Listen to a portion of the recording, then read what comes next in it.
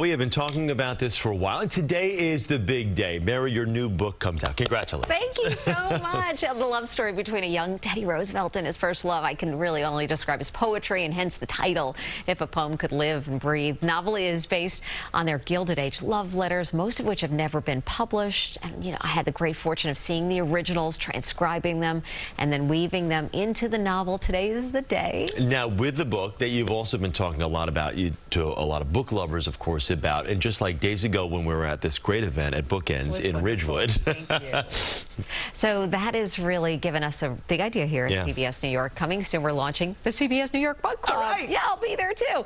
They say the hashtag is Club Calvi. That's what they tell me. And we're going to have more information about it in just a few moments. And when we brought up the idea the other day, it was so well received that you know this is just going to take off. It's very cool.